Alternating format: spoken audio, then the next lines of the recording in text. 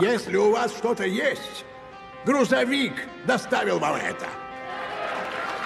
Если у вас есть еда, одежда, лекарства, если у вас есть топливо для ваших домов, топливо для ваших заводов, это доставил вам грузовик.